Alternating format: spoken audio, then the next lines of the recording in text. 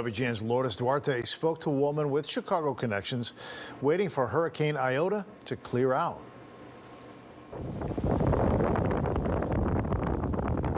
The images tell the story of the power of Hurricane Iota. What makes it even worse is that it followed the same path as Hurricane Eta two weeks ago. The two have devastated the Central American region with roofs torn off, then massive flooding and landslides. One of the people tracking the storm's every move is Amy Campos. She spent 2017 in Chicago as part of a program with the State Department. She's now back in Honduras and reached out to her Chicago connections for help.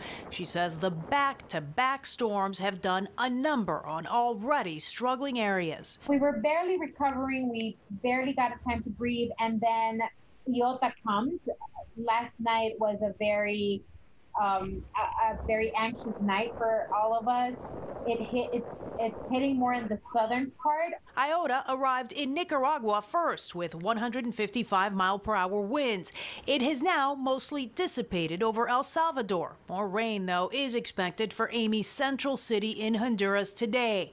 The main fear now landslides. We have 103,000 people uncommunicated so um, in, different communities, 69 communities. Sorry about the noise. Right now, they're making outside my office. They're uh, making repairs to, to clean the street gutters because they are they're clogged with mud. It's a race to do what they can before potentially another storm heads their way. The 2020 hurricane season has been an active one. Iota, the 30th named storm, and there are still two weeks left in the season. We're just waiting to see what happens. Hopefully, right now that's not raining, we get get a chance to clear things up, just so that you know water water is able to pass.